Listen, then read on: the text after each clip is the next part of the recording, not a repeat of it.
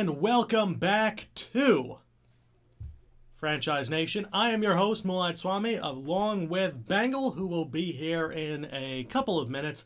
He is just unloading some of his packed schedule uh, to make sure that he can do this entire show. But in the meantime, we are going to be doing just a little bit of Q&A because I don't particularly want to start the meat and potatoes of this podcast without him. Welcome back to the Cover 2 podcast. This is episode number 5 and we have a very jam-packed show. Thursday Night Football is done for the season. Hallelujah. So, with that being said, we will be discussing in this episode what is a catch? MVP race, the return of Aaron Rodgers. We're going to be talking about some of the other games that caught our eye, the XFL, and much, much more. So in the meantime, let us do a little bit of Q&A for the podcast. Um, I'll answer any questions that you may have to start things off. And as soon as Bengal returns, I'll give him his camera back and we can begin doing the rest of our uh, coverage. So uh, what is what's cover two? It is a defense that has two safeties high at the top of the alignment. Basically, you have a bunch of underneath defenders. You have five underneath defenders. You have uh, five. Yeah, five underneath defenders, four linemen, and then two deep safeties. So that's what cover two is. Um, let's see. Any questions from you guys, or should we just, you know, start talking a little bit about the the show, the podcast? You know, just start things up a little bit. Um, some injury news, of course. Uh, Greg the Legs Zuerlein is out for the season with a back injury. He has been the best kicker in football potentially this season, uh, missing only two kicks along the way. He had the highest field goal percentage. Um, a lot of his kicks came from deep. He was just absolutely unreal this season, and it's it's terrible that he got hurt because of yeah.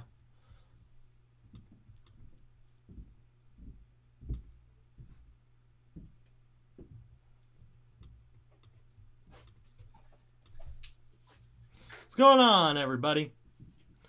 Okay, it looks like Bengal is back in the building. Let me give him his face back. Are you ready for your face yes, yes, yes. Okay, okay. So, Is my audio in check this time? Yes, your audio is in check. You are rearing to go. Ready and raring. Yes, so um, I did answer one question quickly about what is cover two while you were gone. But outside of that, I have not discussed anything else except for our topics today, which are, of course, what is a catch, Aaron Rodgers' return, the MVP race, the XFL, and much, much more. So, why don't we start off with Aaron Rodgers?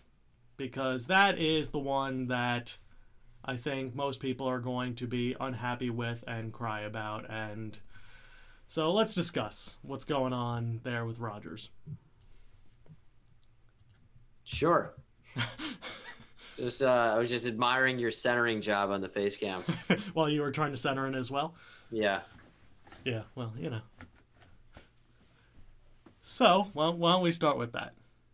All right, let's do it. Uh, uh, you're sad, aren't you?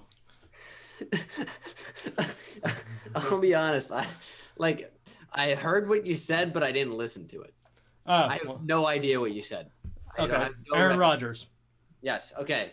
Discuss him. What happened? Um, what happened to your man? Obviously, I was correct in my prediction that the Panthers would come out and get the win against Aaron Rodgers. It's his first week back against uh, one of the better teams in the NFL, obviously. Yeah. And, you know, he struggled, get the rust. He's definitely not at 100%. I think it was a mistake for the Packers to get him back. I know you have a shot at the playoffs and you know you want to put yourself in that position to be able to make the playoffs and succeed. But yeah. i think at some point you just have to cut your losses and say all right we failed this season. Might as well just take the higher draft pick you know even if it's three or four spots whatever it means. We'll take the losses and we'll go into it next year with a better group of players around our starting quarterback Aaron Rodgers who we want at you know full potential. So Absolutely. Good thing Packers put him back on IR uh, or on IR. I don't, you know, I'm not sure he should have played at all Yeah. last week. You know, could- unfortunate performance, but I mean, why bother at that point? Yeah. You have an outside shot to make the playoffs. Yeah. You're going to play your franchise quarterback and potentially, you know, end his career. I know that sounds extreme, but that's a legitimate thing that could have happened. Yeah. I mean, you saw with Tony Romo. Snap again. Now you have him out for more. It's weaker. Who knows? Yeah, I mean, you saw what happened with Romo. I mean, Yeah. obviously, different situation being his back, but people thought he was healed and they were more conservative with Romo Mm. coming into that point. Rodgers was like, "Yeah, I'm ready. I'm I'm ready, everybody." And then you could tell that it just it was not he was not himself. Um, one of the things that we discussed last week was the mechanics of Aaron Rodgers. That eh, for those aspiring young quarterbacks, you don't want to study to be Aaron Rodgers. You want to study to be Brady because you want those consistent mechanics. With those inconsistent mechanics and those unconventional throwing platforms that he uses, he has to be at 100%. And you could tell he was underthrowing for probably the first time in his professional career consistently because he doesn't use his full body enough in his throws. It was all arm, and it was the arm that was obviously not 100%. So, um, I was rooting for him. I really was. I Yeah, wanted to I see love the Aaron Rodgers. I wanted to see the comeback, but um, he really shouldn't have been playing. And I'm glad that they had the common sense to put him on IR. Obviously, there's nothing left for him to play for this year, Mm. but that was just an unfortunate circumstance. Uh, Carolina Panthers, though, they look great. Um, yeah, I mean, Aaron Rodgers, even at not 100%, he still had a lot of moments in that game that just said, wow, we really missed him. And you can tell the level, the gap between him and Brett Hundley, even if he was, say, 50%, was was unreal. I mean, he was making throws, he was doing things that Hundley couldn't even dream of. And that that's the gap between the best in the world or one of the top 2 guys in the world and someone who is not backup, perennial backup. E- even a guy like, uh, I mean, you don't see guys like in the mid tiers. You don't see Jameis Winston or Mariota or these guys doing anything close to what Rodgers or Brady can do in some of these circumstances. So it's like, I really don't think you see anyone. It's it's what really Yeah. makes up that elite tier because Yeah. people want to talk elite and they want to talk, you know, like ten guys in elite. Elite isn't ten. Elite's the like the three best, yeah, maybe a fourth, depending I- on the position, of course. Yeah. Quarterback, I'm three to four. Cornerback, you're talking maybe maybe ten elite guys. yeah. Um, Um, I think that's still a little high. I'd say maybe five for corner, two for quarterback right now. I think Hmm. it's just Brady and Rodgers. I don't think anyone else is even close to them at the Yeah. moment. But um, that's that's a debate for another day. Um, regardless, the Packers have now fallen to seven seven, and their season is effectively over. Um, they'll be taking on the Vikings this week. We'll get to that later. The Carolina Panthers, on the other hand, are ten and four, and they are tied with the New Orleans Saints in the record column. But I believe the Saints swept them head to head. So they would need to finish with a better record than them to win the division. The Saints host the 9 and 5 Atlanta Falcons this week, which is going to be a crazy game. But uh, what other games caught your eye from this past week? Um, I As a Giants fan, Giants game certainly surprised me for a portion of it. Uh, I didn't really think it would be particularly close, given you know all the injuries that the Giants had. But you had guys like Tavarres King, two touchdowns for him, and one of them was a great play by him at Yeah. least. He was shredding them. Yeah, I mean he's a bigger guy and he's got some quickness. Yeah, but I mean, it's still the, this Eagles defense was supposed to be great. But then again, we can always go back to never judge road divisional teams in divisional games. It just it's not a good idea because you see it happen every single time. They're all trap games. Yeah, I've certainly spoken about it over the course of the year. I think the Eagles are one of the most overrated teams we've seen over the past five years, at least. Uh, I don't think they're anywhere close to the best team in the league, um, or anywhere close to any of the teams we've seen with similar records over the past couple of years. I think they're very similar Yeah. to the Panthers.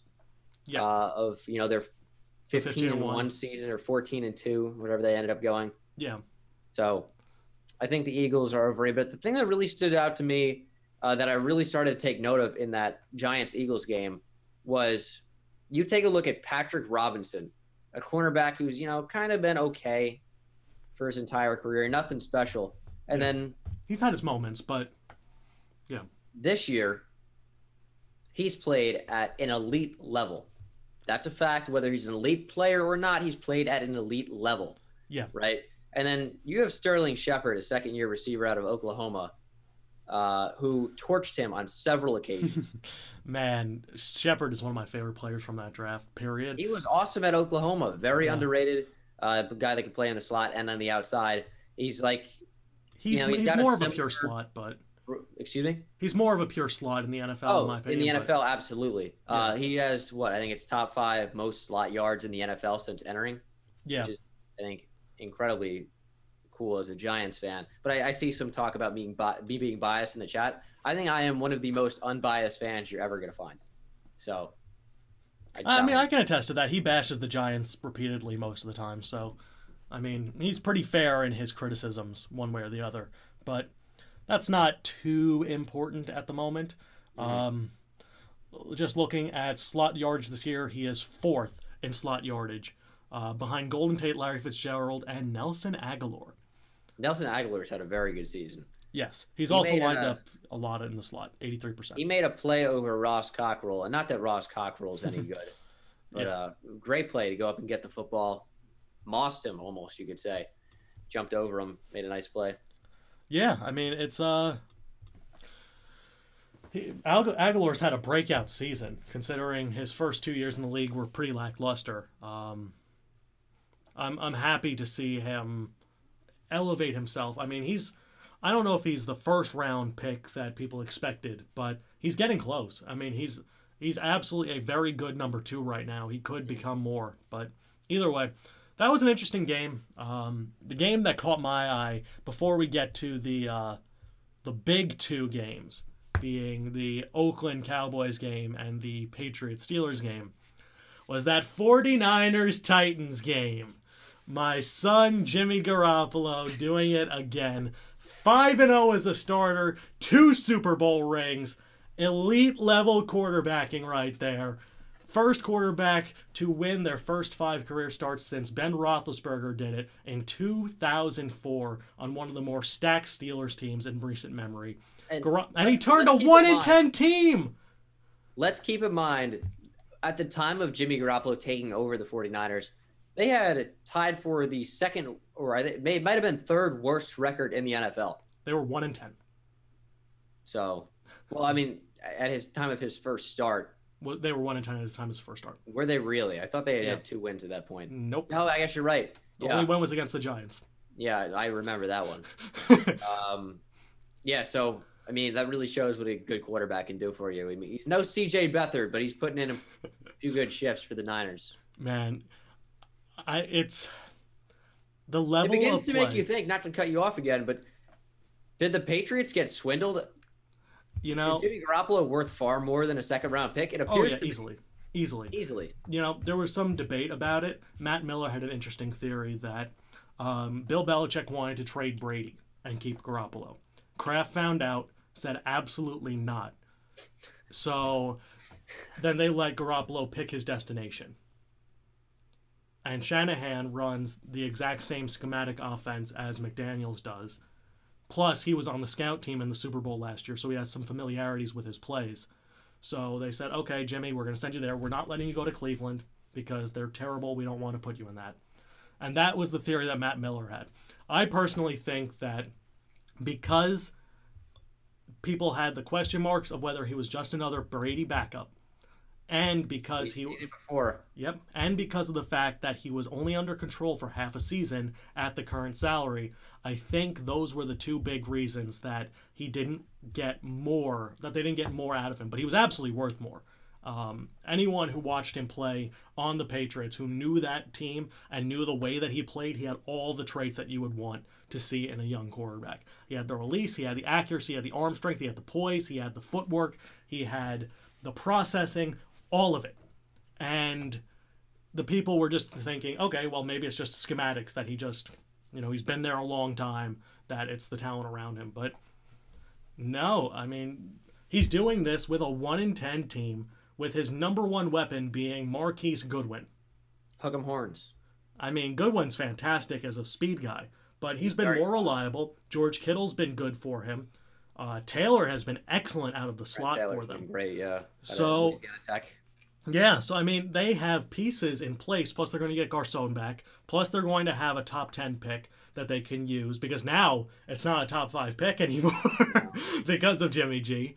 But the knowledge Yeah, that you'd like has, to see it. I think even if you're the 49ers, like it sucks that you're not going to have a, a great draft pick as you maybe would have. But Yeah. this is what you wanted. This is what you want to see. And Yeah. you know, speculation. You know, you can say what you want about it, but we're a podcast. We're going to let's Yeah. speculate for a moment.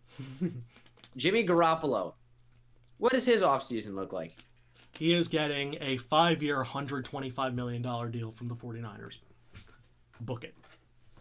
Does he accept it? Yes. I think he stays with Kyle Shanahan. And I think it makes sense too.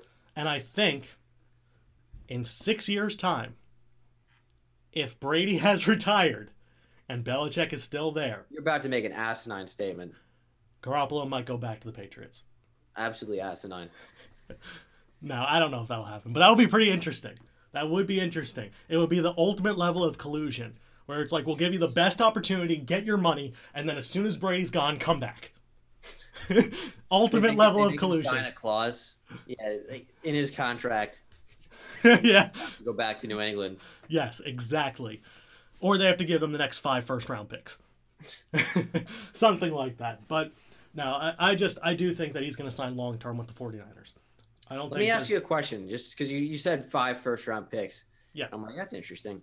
What is the most amount of picks you'd give up for the best quarterback in the league? Let's let's say, for example, it's Aaron Rodgers, Tom Brady, but let's say they're in their prime. Let's say it's not now. Let's say Tom Brady's not 40, Aaron Rodgers isn't 33 or 34 or what 32, whatever he is. Let, let's say they're both 27, that age, going into their prime. What is the highest number of first round picks you'd give up over the years? Um, I have So- my number in my head. you do yours first. I want to formulate my my full tally on it. I think I would do, and you know, keep in mind the value that first round picks have and the way that certain teams with successful first round draft picks have been able to build teams. Yeah. Um, and I think my number would have to be three. I know that seems like potentially small or large depending on your uh, view of it, but I think three first round draft picks. We could say that's a like what three years, and I might even go as high as four, but I would doubt it. But I mean, you're looking at the best quarterback in the NFL, so I mean, you could go up to four. uh, That's that's a lot of first round picks, and I feel like is that almost giving up your future and like what you maybe you don't have talent to build around that player. It's an interesting situation, like with Yeah. the with the Colts have with their Andrew Luck situation. It's different because they do have picks, yeah. but they gave Andrew Luck a max deal, and suddenly they haven't had good draft classes and have no money to sign free agents to put talent around him. yeah. So they've given away their future. The Colts Yes. are awful, and. Andrew Luck now has so many health concerns. That team might be worse than the Browns, despite having a better record. I know that seems like a ridiculous statement, no, they are. They're they're a worse team. but they're terrible. They and really they are. have some bright spots. Malik Hooker, obviously injured. But out. yeah, he's hurt. So Um, Henry Anderson. I know. Um, I mean, they, they have some pieces, but okay. So Not really though. no, they no, they don't have a ton. But here's what I would say. Vontae Davis. Yeah, You don't really have any corners or linebackers or. they have Sheard, who's played very well. yeah, they did sign him. They Um, Hankins has been very good on the interior as well. I know you. I know he was a giant. I don't know if you were high on him. I thought I, I pretty much liked Jonathan Hankins, but I thought he didn't have a role once they signed Harrison. Um, Yeah.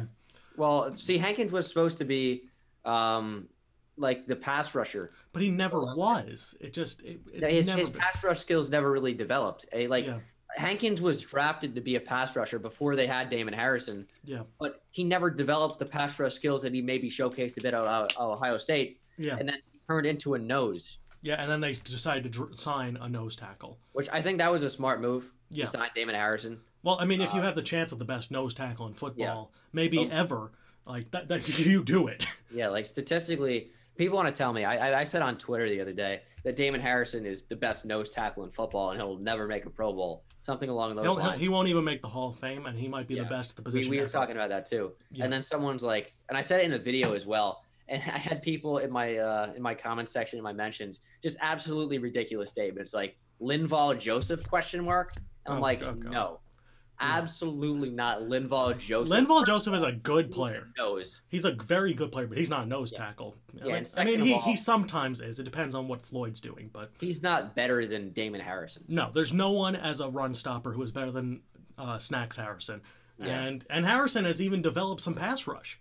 So I mean, like he's He's he's, got some, he's, I think maybe one or two sacks max on the season, but still. yeah, but I mean, he still can generate some pressure, which is his whole thing is get in the way and like Yeah. Like i would say casuals is a fun word i like to throw out there that makes people mad casuals don't understand how important a nose tackle is they're like oh well you want sacks and tackles for loss it's like well how do you get that it Yeah. starts with a good nose tackle look at aldon smith and look at justin smith Justin Smith. Oh my god, he Justin was so Smith, good. he wasn't a nose tackle No, he, he was a he was a three He's a three four end. His whole deal was hold blocks so you get more one on one situations for Yeah. Aldon Smith. And Aldon Smith has like what seventeen sacks in one year. Yeah, And Justin Smith is just as, as a rotational pass line. rusher, as a rotational guy. But look at uh look at the Browns' run defense. Danny Shelton. Danny how- Shelton, how he's transformed them. Pair And then you have him with Larry Ogunjobi. Ogunjobi, who's a great partner to him. Yep, pair You those guys on the A lot of exciting stuff. Like I love the Browns, and I think Yeah. I would call myself a reverse bandwagon in a lot of senses because like I don't really care for quarterbacks. I'm a huge defense guy. I Yeah. love. I'll I'm, take I'm, so, I'm stunned. You're a defense guy.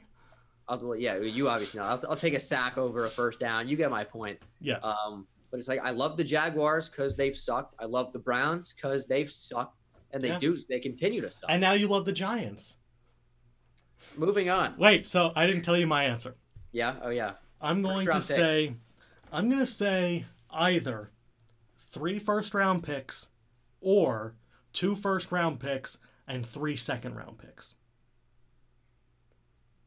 Mm. So either five picks total or three first rounders. Because think about it like this you trade for that guy. The first pick will be a higher end one, most likely, because you don't have a quarterback. The rest of them will be tw- mid 20s to 30s for that first rounder. The second rounders will be in the 60s. So you need to hit your mid round picks no matter what if you're going to build around a quarterback like that. So if you take out the first two to guarantee you get that quarterback, that's how I think it would have to play out. But most I would do is three first rounders and five total picks would be my max if you do two first and three seconds. Yeah. When we were talking about first round picks, I agreed. We agree on the three. Yeah. Um, but then I, I probably would agree with you as well in terms of total picks because here's what you need when you have a quarterback of a level of Brady or Rodgers. Yeah.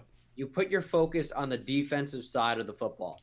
Because look at Tom Brady, look at Aaron Rodgers, look at their weapons they've utilized over the years. Tom Look Brady, Peyton Manning. White, and Wes Welker. I don't think Wes Welker was anything special, but he was a good route runner and he held on to the football. Sometimes. And Tom Brady could find an open guy, and Aaron Rodgers can throw to Greg Jennings and can throw to James Jones and you know guys like that. Jordy Nelson's an incredible player, but you know we're on the same page here. Yeah. You know you don't need, or you do need them. You you need quality offensive linemen and receivers. You and need a backs, dep- but it's you need one dependable important. guy. One dependable guy. You see what Brady has done with Welker alone, with Edelman alone. You add guys like Gronkowski and company, yes, it makes it better. But then you see the alternative approaches where the Packers put all their money into their O line, put it into their receivers, put it into Rodgers, completely forgot about their defense. What is it And it's done? like they didn't even need to do that Yep. because Aaron Rodgers was making you know bad players look good for a while. Yep. Like Jeff Janis had some spots where you're like, is Jeff Janis going to be good? And it's like, no, it's Aaron Rodgers. yes, it's Aaron Rodgers throwing to him. But look, even look at Peyton Manning. That Yeah, Peyton it- Manning in his prime. Oh it is it has irritated me forever because the Colts put every egg into their offensive basket.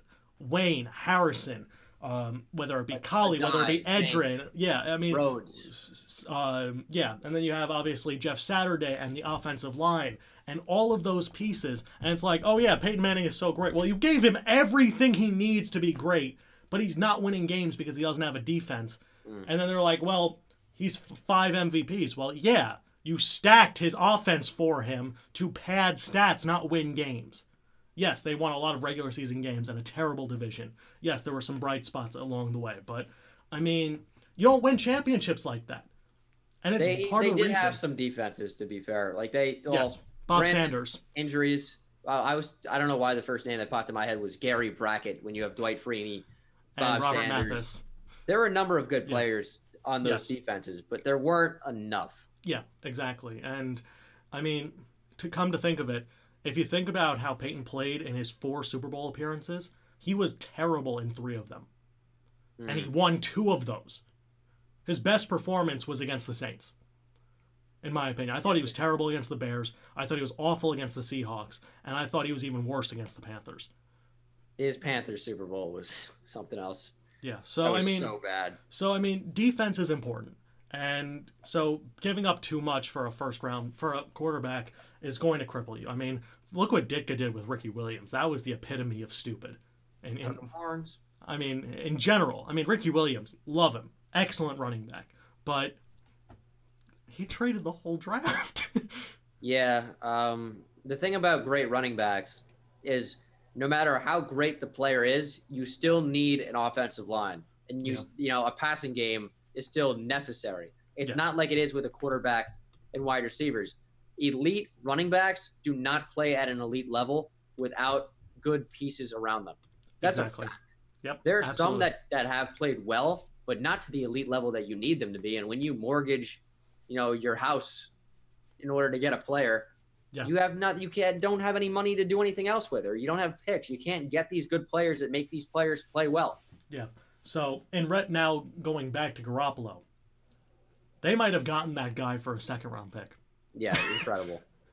I mean, he still has to resign, but yeah, I think he will. okay. Um, I, I don't like grading people with limited starts. Mm. Where do you rank Garoppolo right now in the NFL? Not not just this season, like among quarterbacks. Where do you put him? purely subjectively with with not with no. Well, okay. What do you want me to do? Because we could do just this season. Uh, just rank him overall. Like, Okay, in general. yeah, He's Like, um yeah. he's top 15 for me. I think a good spot for him without considering other variables is probably 8. eight. I think 8. Wow. Um, I'm not that bold to put him that high. I think he I think he's just done so much with so little and Yeah. you that's one of the worst offensive lines in football. Yes, he's been pressured a tremendous amount this season. I don't think there are a number of high quality quarterbacks in the NFL. So 8 seems really really high, but I'm also taking potential and it, it's so few games where maybe 15 does sound like a better number, but I Yeah. think I think 8 is good in terms of general ability and talent and winning football games. And when you win 5 straight with the second worst team in the NFL, that's saying something. Well, he won three straight. yeah, well, 5 undefeated as a starter, whatever it was, but He has been he has been pressured 36.8 percent of his dropbacks so far this season. He is 65.8 percent completion in that regard and 75 percent accuracy percentage. Where does that regard. rank in terms of uh, other quarterbacks across the league? 38. Uh, that would put him as the fourth most pressured quarterback in the NFL. Um, if I remove uh, anyone with over 50% of dropbacks for the team. So Okay. obviously he has a much smaller sample size, but only Jacoby Brissett, Russell Wilson, and Case Keenum have been pressured more than Jimmy Garoppolo relative to sample size. Where do his percentages rank in terms of like completion percentage and accuracy? Oh, um, completion percentage under pressure would be highest. Accuracy percentage under pressure would be highest.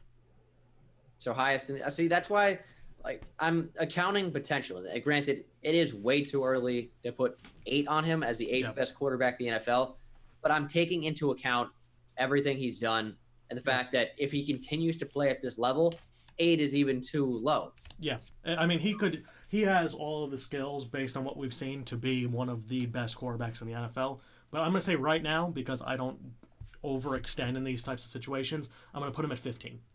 Yeah, 15th best quarterback right now, ahead of Wentz, ahead of Prescott, ahead of all of those guys.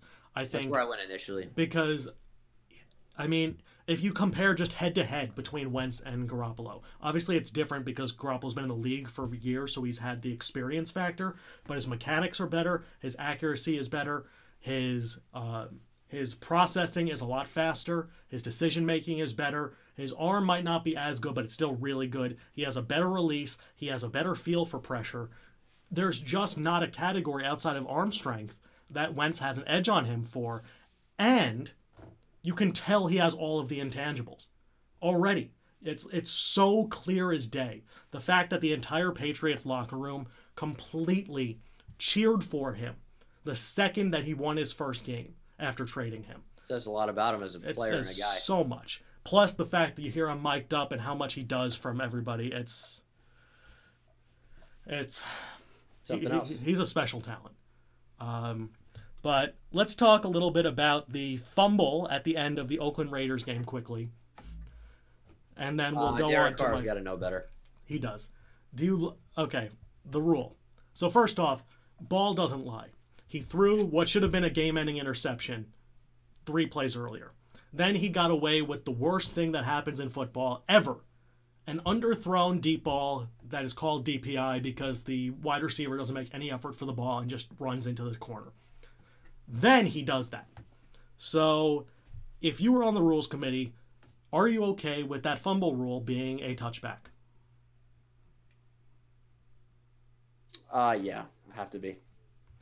Well, I want to pose this question. Would you be okay with it where the down counts, but you get the ball on their 20 yard line? So it'll be a reverse touchback. So you don't lose possession, but the down counts and you get pushed back off the goal line. Uh, Or is that not a big enough punishment for losing the football? Because anywhere else on the field, if you lose I- the ball out of bounds- you keep possession at the Yes. spot of the fumble. yes, which All would be ridiculous in the goal line, obviously. I'm not necessarily in favor of changing rules, especially the, to that degree. Okay. Um, and yeah, it does seem extreme. Ball goes out of the end zone, you completely lose possession. But I think you know, you got to be so careful with the football in those situations and near the goal line. Yeah. And if you're gonna be fumbling into or out of the end zone, I see I see no problem with the current rule, even if people also do. Okay. I mean, I just wanted to pose it. I thought it was a very interesting thing. I think it's okay the way it is, but I know a lot of people wish it was something different because, yeah, if you fumble it anywhere else, it's not. But I agree. It, you should be punished if you do that. I Mhm. mean, it's just. Carr had to know better. First off, he put it into his left hand with a weak grip on it anyway. And he look, he turned the game over in field goal range down 3 points. You can't you can't No. do it. By the way, what Drew Brees and Ben Roethlisberger did in the past two weeks is they threw a game-losing interception in the red zone inside two minutes left, with the game either tied or within three points of them trailing. It is only the 11th time that has happened in NFL history since 1994, since it started being tracked. Mhm. It is the those the it it hadn't happened since 2014. So if you consider fumbles, obviously Derek Carr would go into that category as well. But now we get to talk about the game Jesse that I yellow. enjoyed. We get to talk about the game that I enjoyed.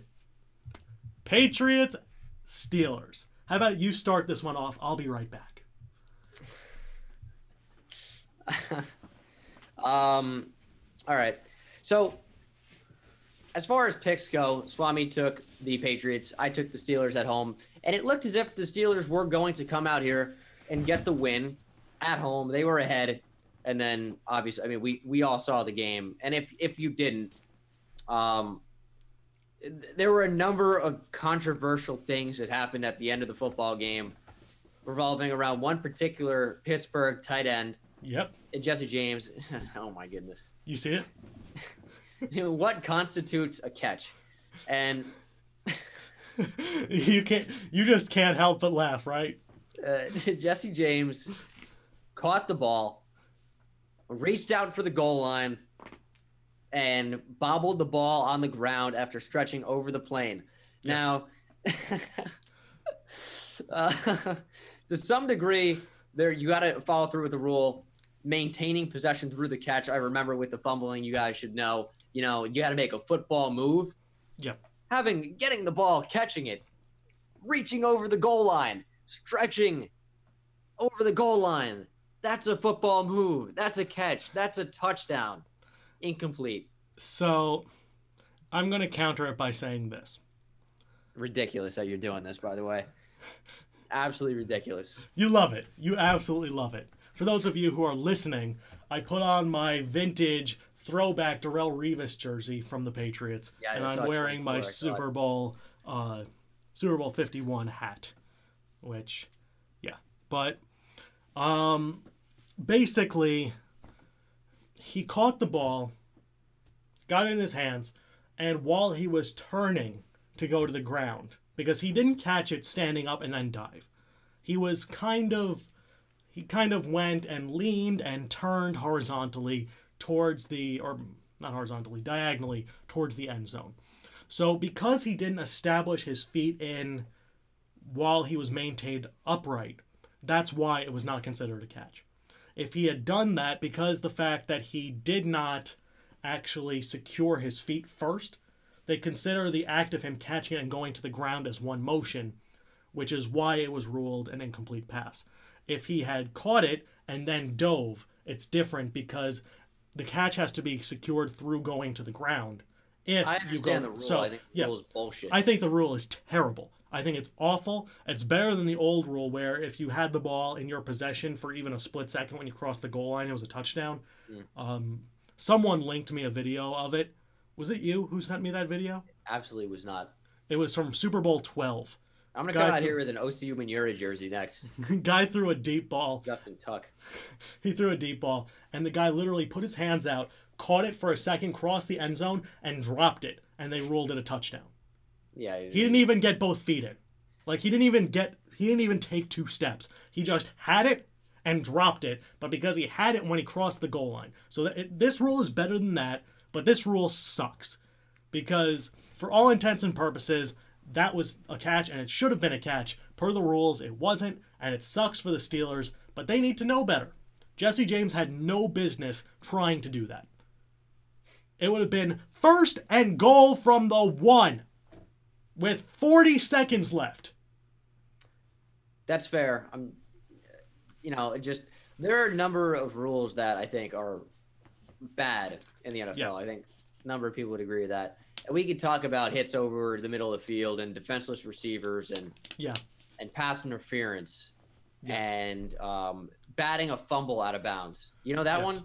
Yes. If you choose to bat a ball intentionally out of bounds, which is again an extremely subjective call by the referee to determine whether he, that it was intentional or not. Mm, yeah, What but you can reach usually tell. Get it, and you get it on the fingertips, and it goes out of bounds, and the referee says, "Yeah, that's, you know, a you know a penalty. You can't do that." And you were really trying to catch the ball. I mean, I think that's stupid. Yeah. Uh, there are a number of rules. Won't get into all of them that are bad. Can't Defensive pass interference and intentional grounding are my two least favorite rules in football. The fact that they never call that shit ever. Intentional grounding happens so much, it is awful. And then defensive pass interference, the way that they rule that is just atrocious. I mean, there are times, there was a play, um, I don't know which game it was.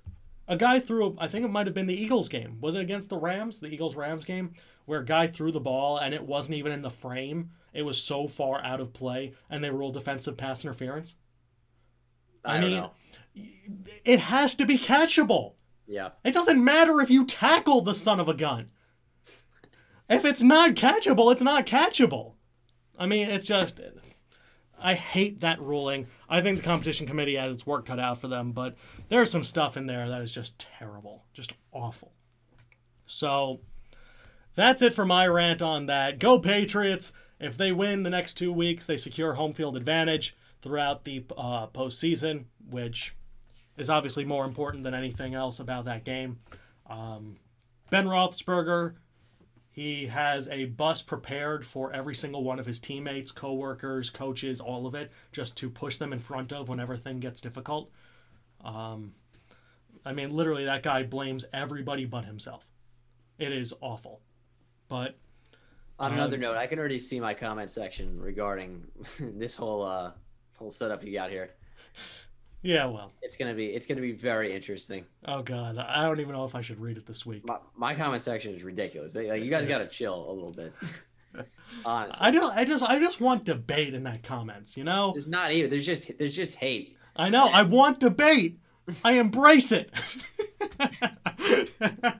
It's it's funny though. I feel like when you get notifications from my video, sometimes I'll get a uh, I'll get a comment at having one minute ago, and I'll see Swami already typed out a paragraph response like 45 seconds ago. I'm like, you typed that in 12 seconds? You typed a paragraph responding to this guy? How I did you mean- respond to this so quickly? because I used roller typer as. Yeah, that's probably it. but Shout out to the child. For my particular viewers, there's a way to go about things. Again, Swami likes to debate, but when you're just straight up attacking guys, it's not it's not acceptable. Yeah, I, as long as we have reasoned responses in general, I'm happy. Um, but I will say from that Steelers game, Steelers should feel pretty damn good about themselves outside of the result because they should have won that game without Yeah. Antonio Brown.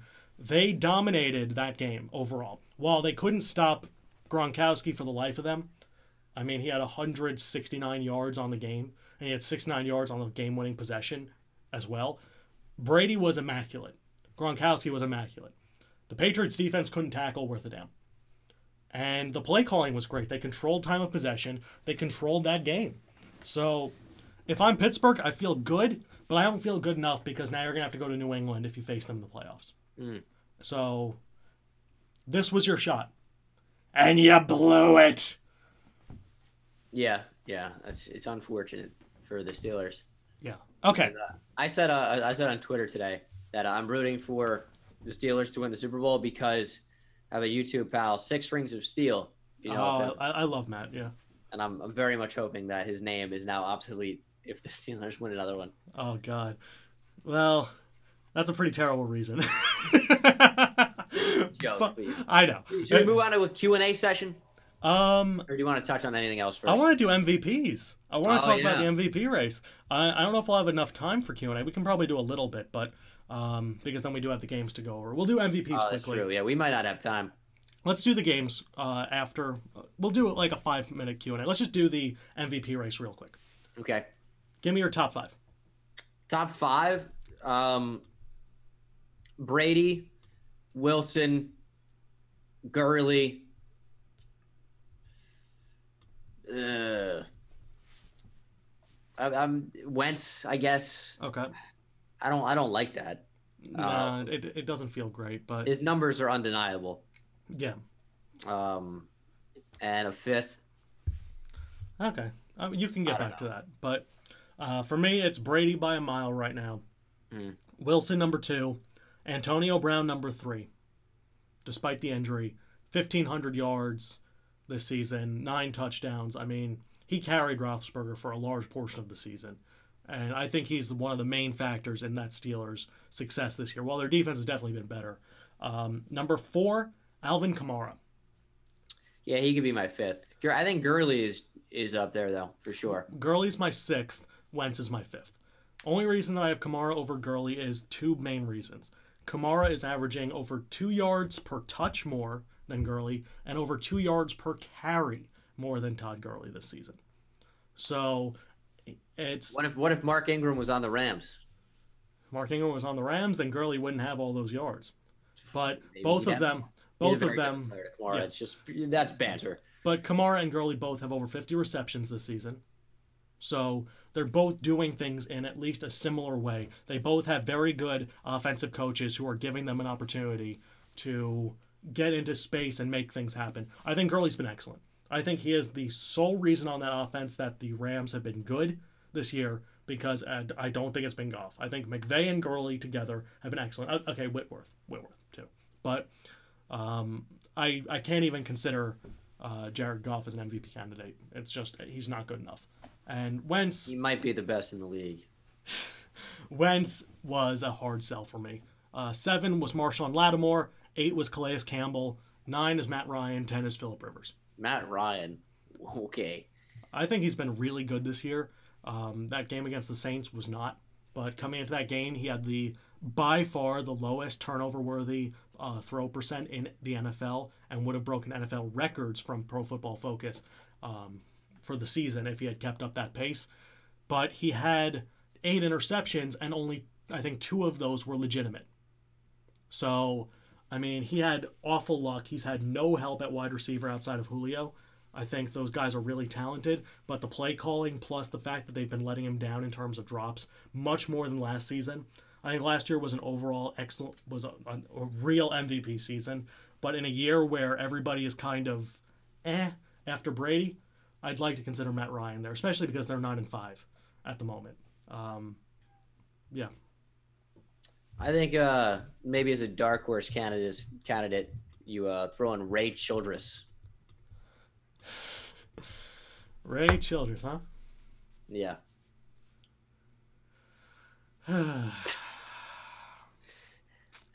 That's a name to look up if you don't know. Yeah, well, Case Keenum could have a claim, but he's in the same boat as Goff. You know, it's kind of like the team is propelling them. Even though he's played well, he's played well beyond his actual capabilities. I'm gonna look up Ray Childress while you talk now. he was, uh, you know, Houston Oilers defensive lineman for like a decade in the league, oh, and uh, top five pick in the draft in 1985, something like that. Yep. College Football Hall of Fame. You Dark know, horse MVP candidate right there. You, you know, when you said Childress, I got thrown off by Brad, Brad. Childress and thinking that he was the offensive coordinator for the Vikings. And I said, no, that's not possible. That's Pat Shurmur. And then I said, wait, he was a defensive guy anyway. so there were a lot of things going through my mind that I kind of froze up on. But um, either way, look at you name dropping. I should have said uh, Chris Doleman. Okay, you need to stop, Kevin O'Brien. Um, either way. Or Jan Stenerud. Okay. Let's do some Q&A real quick, and then we'll get into our picks for the week. Uh, I'm picking... I, I picking said... Garo Yepremian to win it all. Who? Garo Yepremian. Gotcha. Come on, you you know Garo. Come on. don't act like you don't. You're awful. You're just awful. okay. Um... No, we're not doing anything for uh, prospects this week. We didn't have enough time, and we had a lot of stuff to cover with uh, some really big topics this week with Rodgers and the, the Steelers game and all that. But uh, uh, let's talk one more game, or let's talk uh, some playoff push while they are filtering in questions.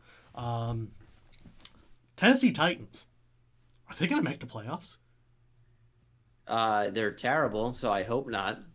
Well, it boring. looks like it's going to be them, the Bills, or the Chargers. Give me and, the Chargers, easy. Well, the problem is the Chargers are lost the Chiefs. They're seven and seven, yeah. so they need to win out. The Titans, I don't think they're going to. The Bills are terrible. The Ravens are another option. The Ravens might be the best of the bunch, and I can't believe I'm saying that. Ravens versus Chiefs, Titans versus Jaguars. Those could be interesting games. I think the Jags win, and I think the Ravens stun and beat the Chiefs. Yeah, I don't think the Chiefs are all that good, especially defensively. Um, in this. Uh, in the secondary, I think they're just atrocious, especially with this. I told you their season was over the second Eric Berry went down. Their their Super Bowl hopes were over in Week One. I don't know. I didn't tell you that. I said that in general because, yeah, they beat the Patriots, but at what cost? and it seems like that's what happens. you give up your arm and your leg to beat the Patriots. And the Steelers seem to give up their arm and their leg just to lose close to the Patriots, which is a whole separate issue. But okay. Um, let's see. Top pick in the draft right now. It looks I've like been it's thinking about this one a lot. I can't make heads or tails of it. Um, um, well, it's not going to be a coin toss, so you don't have to. Yeah. Uh, I think it could be though. In terms of, is it Josh Rosen? Is it Saquon Barkley? Is it another name? I think it's going to be quarterback. I think almost a guarantee Dorsey is drafting a quarterback number one. So I think it's going to be Rosen or Mayfield. I if think anybody Darnold else I wrote, shot to I go number one. God, no, I, I riot if he if they go Darnold. I would. Not about so... see what I do. I do some mock draft videos. Yeah, I, I mean mock drafts. Sometimes you know people get mad at me for thinking that players will go places. Oh, Lamar Jackson's ten times the player Sam Darnold is. I'm like, Yeah, but that doesn't mean he's necessarily going to be drafted before him. Yeah, apparently, uh, reported by Benjamin Albright, he would be surprised, based on leaked sources, if Jackson goes in the top 20 right now. And yeah, that he might Walter not be. Football has the Giants taking Lamar Jackson at two. Like, Well, right. well, Walter Football is about the worst yeah, source on draft Twitter, period. had Malik Jefferson in the fourth round. Whew. Te- Texas linebacker Malik Jefferson, Yeah. aka first round talent Malik Jefferson. Uh, so He back does. to back to the Browns. Let's let's just do that real quick. does. So, you think it could be Darnold or Rosen? Do you think Mayfield? Or do you think that inspires too many flashbacks for that idiot Haslam? Hold on, I saw something in the chat that uh, uh, I'll hold on to it for a minute. Go ahead again. Ask again. Sorry. Who's going to be number one? Rosen, Darnold, or Mayfield? Rosen. Rosen? Yes. I wouldn't be happy with it, honestly. I I think he's too slight. It's just I think that guy's going to take too many hits and he has too many injury issues already. I think you I think you might be right. I just wouldn't be happy with it. Um I would love Baker at number 1. Okay, so what was that thing that you were holding on to? Quote: Bengals number one cornerback prospect last year is trash. LOL. So I had a one A and a one B. All right. One Yeah. of my ones was Marshon Lattimore. Okay? Okay. so he's not trash. What was your 1B? The other one is Jalen Teez Tabor, who isn't trash. He hasn't played. I He thought Tabor's pretty good. He's done. He did very well in the preseason, and then hasn't played. The Lions didn't want to play him Yeah. for whatever reason. He was always a healthy scratch. They said, "Oh, he's put in very good practices." You can't say a player's trash when the team is not playing him. Aside from the fact that a lot of teams and he hasn't played. yeah, and a lot of to get him teams a do fresh that. Start next year, A lot of teams do that with corner prospects. and he, Uh-huh. he's played some recently, and he hasn't Yes. even played like trash. He's been pretty good. Yeah, I, I like So Teez that's a ridiculous statement. But Sidney Jones was my number two. I like So- Sidney Jones a lot. He dropped for me because of injury. Yeah, that, I had him as a second round perform. grade. That's another fucking Eagles got him. Jeez. Hey, hey, hey, language. language. We already used up our one for today. That's true. I said I said BS. Or did you say something else? we might have used more than two. I I know I did. And I've been very yeah, we, we, we've done we've done terribly with this. Um, okay, so let's see. Uh, two more questions. Let's see. Uh, who the hell will coach Cleveland next year? I'm sticking with Hue Jackson, but he won't last for half the season. he's terrible. He's terrible. Um, let's see. And the last one is. Let's see. Who wins the NFC South? And I think if the Falcons decide to finally click, they win it all. Okay. Uh, we'll have two more questions. We'll have that, and then we'll talk about Goff. So, who, who do you have winning the NFC South? Saints. Saints? You know, if the Falcons win this week over them, they would be the front runner for the division. I have the Saints winning the division. Okay. And the last one has Jared Goff proven that he is the number was deserving of being taken number one overall. No, Sean McVay has made him. Agreed. I think he has shown that he is a serviceable quarterback who doesn't have a huge ceiling to him, which is exactly what I said about him coming into the draft. I thought that Wentz was the guy with the higher ceiling and lower floor, that Goff would be a mid 20s to low teens, or I guess high teens, being like 17 to 19 at best. To be fair to Jared Goff, he's made some very impressive throws this year. Yes. To be fair to him, but I mean, the one that comes to mind for me is a deep post. Um, I believe it might have been a, to Robert Woods, and I'll tell you, Cooper Kupp is a fun player to watch. Yeah. Um, but I think it was a deep post to Robert Woods, and it, there's no safety help. All you have to do is throw it as far as you can, and you know know how far you can throw, and then wait for that to happen. Yeah. So it's like it's not like you're you know fitting in a ball on a tight window. Perfect throw, right on the money. But you know there are a lot of quarterbacks that can make that throw, even though deep accuracy is a concern for some. Even Deshaun He's made some good make it. plays, but he doesn't have the ceiling that a number one overall pick should have. Yeah. Yeah. Carson Wentz in that offense would be something else. Yeah, it would be unreal. Um, especially because run first was his MO at North Dakota State. So Yes. I, I always thought that he was a better fit for the Rams to begin with, even with Fisher. But, you know, what do I know? Nothing. Nothing at all. Okay, so let's discuss the picks for this week. Uh, last week I went 12 and 4. You were on a roll until you, we got to those uh, late games on. Yeah, I was I was perfect all day Sunday, and then things were bad. Saturday also didn't go well, No, we, we were both awful on that. But which I don't regret. I would do it again. I would. I- I would still too. make the same picks. yeah, I would too. I mean, maybe I would pick Detroit, but mm, I'd still stick with the Chargers, even though they Yeah. they get owned by the Chiefs apparently all the time. Um, there's no Thursday night game tonight. I'm sad, but I'm happy because I hate Thursday night football. Thursday night sucks. I think the games are always lackluster. But we have a few games tomorrow, uh, Saturday, two games on Saturday, the rest on Sunday, and then one Monday night thriller between Nick Foles and Derek Carr, aka Nick Foles 2.0. Um, Colts Ravens in Baltimore. I think Ravens that's a all that's a pretty clear playing for their season. playing for their season. They're eight and six, hosting Jacoby Brissett and company. I don't. I think. Uh, I think if the Ravens win this game, they clinch playoffs. The I'm biggest reason I think the Ravens will beat the Colts, it's the Colts. That's the biggest reason. That's the only reason. I thought it was Chuck Pagano one, Colts number two, three Yeah, in the Pagano, Colts roster. disaster. Like, Great- not- great I person. Said something real controversial, and I'm not going to. But let's move on. He's a great person, bad coach. Yeah. Let, us leave it Terrible coach. Um, Vikings at Packers. Brett Hundley back in the starting lineup. N- I'm- no I'm- to the Brett Hundley era. I'm, I'm, going. Vi- I'm going Vikings. yeah, absolutely. I uh, I had the Vikings coming in this season at 12 and 4. And I think that they could end up going 13 and 3, which would be pretty cool. I had the Um, Giants at 11 and five. Next game. You got this. Uh, Bears Browns in Chicago. Do the Browns pull off another Christmas Eve miracle? Yes, I'm taking the Browns again. I'm I'm taking the Browns this time. I I'm doing it. I will do it because I think Jordan Howard will get plugged up a little bit, and then it'll be up to Mitchell Trubisky, who has been hot and cold.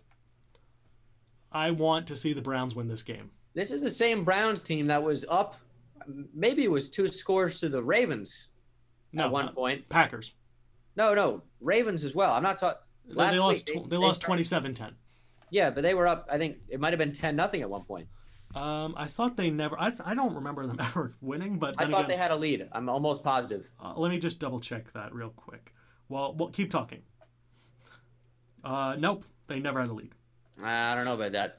I remember. Wait, wait, wait. They might have had a lead at one point, but they it started three nothing. Uh, Baltimore leading. Uh, yes, they had a seven to three lead, and then that was it. I'll take it. So they led once. Yeah, well, that's that. That's an eight and six team. We're talking about the Chicago Bears with a rookie quarterback. Yeah, and and injuries and whatnot, and no wide receivers. Yeah, uh, they have a bad team. They do. They have a bad team. God, I hate the, the Bears Browns. sometimes. Give me I- I- Kizer. yeah. Give me Larry Ogunjobi. Danny Shelton, Give me Myles Deshaun Garrett. The one time I'm going to root against Mitchell Trubisky. Um, Go Browns. Bengals hosting the Lions. That's another game I won't be watching. Um, I will take the Lions. I am going to. I think what the mascot of the Cincinnati team is clearly better. yes. Clearly, Uh, yes. clearly. Well, yeah, you are a Bengals fan. Um, I'm going to go Lions. I'm going to go Lions.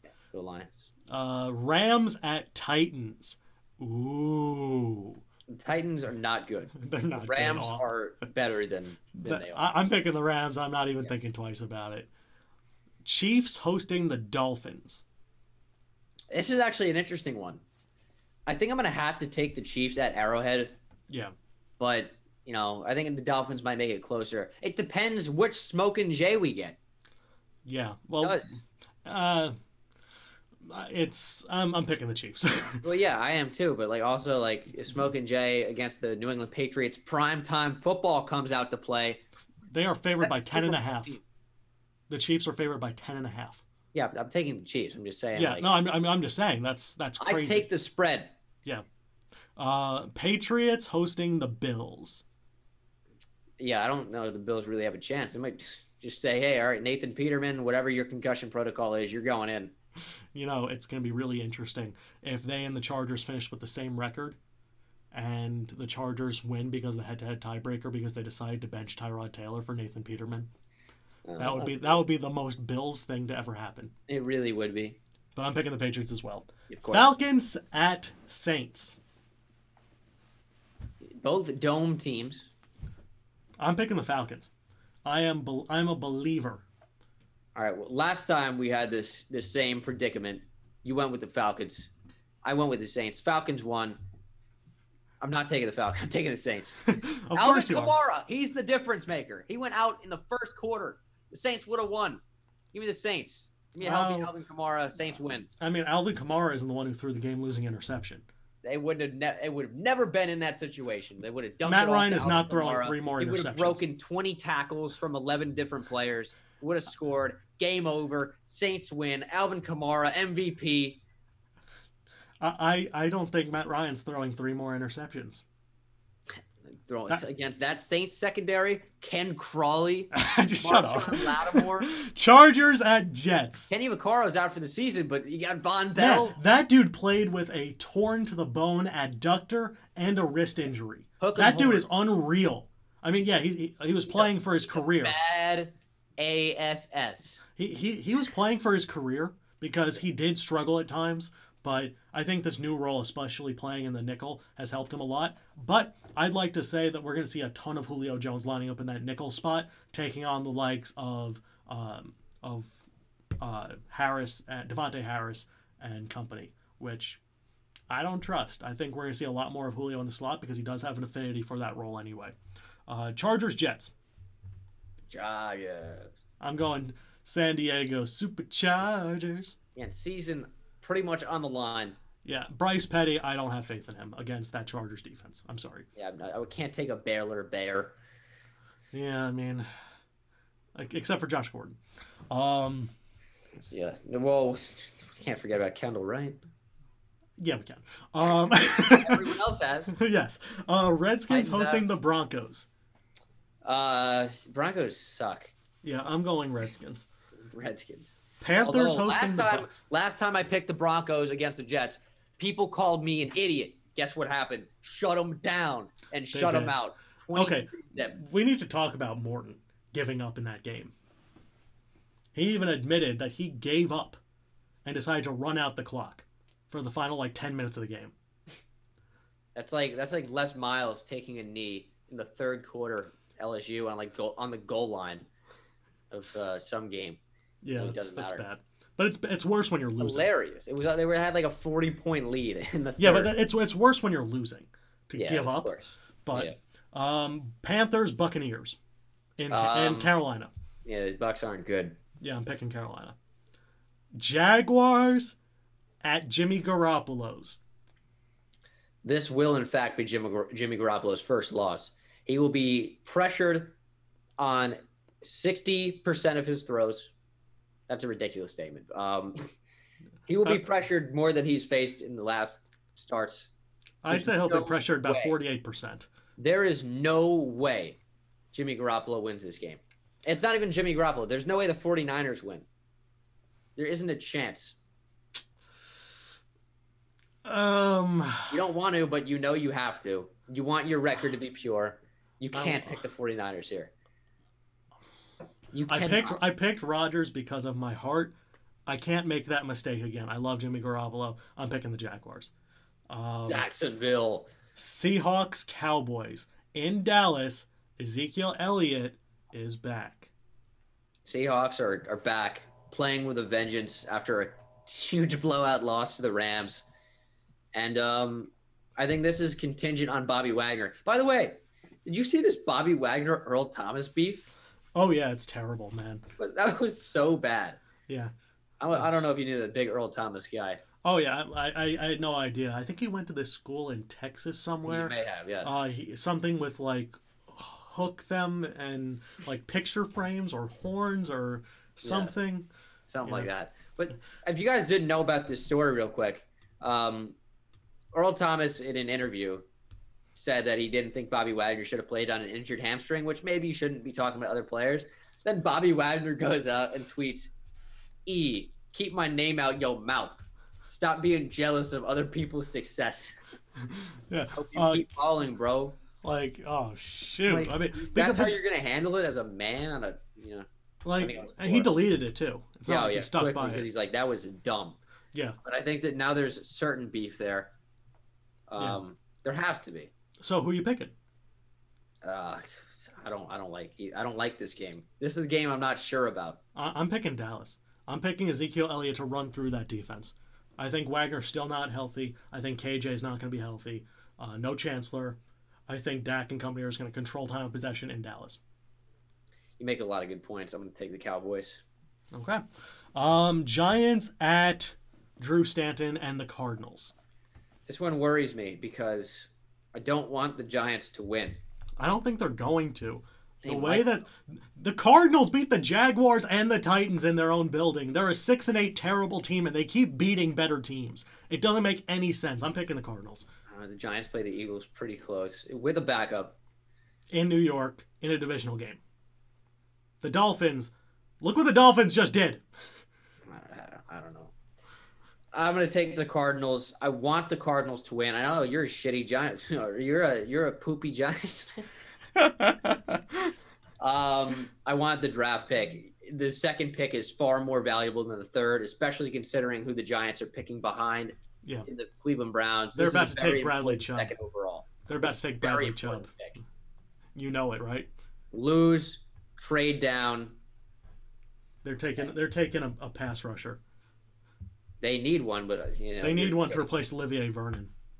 What does Um, that mean? What does that mean? Steelers at Texans. Steelers. Steelers. And lastly, Oakland Raiders at Philadelphia Eagles. Oh, that's another game that's like pretty. Uh, uh, I'm gonna take the Raiders. I'm taking the Eagles because Derek Carr and company aren't good. That's true. and that's all there is to it. You're not wrong. I just, I just sometimes you got to pick with your feeling. And my feeling is I, I, I, took you. Garoppolo so much, and then I, you convinced me not to because you said to not go with my heart. There's so much wrong with this. Yeah, the Eagles are it's better. I'll go, I'll go Philadelphia. Okay, okay. Um, Uh, I think that wraps things up. now. Now, now they're gonna win. Of so, course they will. yeah. But um, this is going to be one of the least climactic weeks in football. Apparently, only three teams have a 10% chance of adjusting their playoff uh, prospects this week. Only three teams. that's so- crazy. Yeah. I mean, it's uh, it was something along those lines. My, no, it was sorry, it was three matchups. Three matchups where the two teams had 10%. So, I mean, it's yeah, it's uh, you know. Either way, um, yes, all picks are final, Hardy. Um, any other final notes? Anything you want to talk about? Oh yeah, quickly, XFL. Vincent Kennedy McMahon of WWE sold off 3.34 million shares of WWE Or today. one hundred million dollars. Yes, to start investing towards a new potential football league. Do you think an expansion league as a development or devel- developmental league will benefit the league and at what position specifically? The XFL is just is going to be just as bad as it was in the '90s, and I probably will love it just as much, or as like you know highlights and whatnot. And Yeah. Nicknames on the back of the jerseys and essentially no rules. Yes. While no kickers. Um, I don't think it will be that successful. I was talking about this earlier. I, you know, it's going to make money probably, considering uh, you know, networking and things like that. I wonder what network's going to get the XFL. Well, NBC had it in 2000. They had. I don't think they're going to again, especially No. now with their current partnership with Sunday Night Football. And, Well, here's the thing NBC and Vincent McMahon lost $35 million apiece in one season of the XFL in 2000, and they folded. Or 2001, somewhere in there. So there's that. But I will say that ABC does not have a partnership outside of ESPN with the NFL. I think that will be the most logical source for it. And I think quarterback and offensive line play will be the two most that will benefit from an expansion league if it actually sticks around. It's it's gonna be so bad. I mean, you'll see you'll see guys develop there. I mean, that'll be the point. It'll be better than college football, but it'll be worse than pro football. What? Well, it's going to be the cream of the crop that doesn't make it. So it's like taking the Cleveland Browns and multiplying them by five. Oh, that's fair. I, I thought you meant like better. I didn't. I didn't think you meant better quality. I thought you meant better. Oh no, no, ridiculous. No, I think there's going to be better talent at on those teams. Yeah, that's that's fair. The product might not be as good, and it's going to be a small number of teams. It'll be the best teams. college players that aren't good. It'll it'll be the if you say the zero point zero one percent make it to the NFL, it'll be the zero point zero five to zero point zero two who are there. Yeah, which is still great. I mean, it'll be interesting to see because if we enjoy watching college football and seeing some of these terrible players who have no future playing, it'll be cool to see these guys who are trying to compete for a tryout at the NFL level. Telling you what I'm looking forward to. What?